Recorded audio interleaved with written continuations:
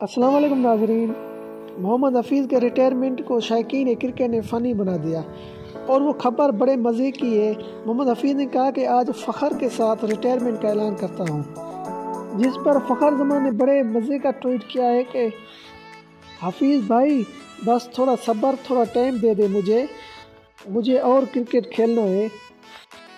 صاحب نے محمد حفیظ کو بیسٹ وشز دیے اور فخر زمان نے بہت ہی شرارتی سا ٹویٹ دیا۔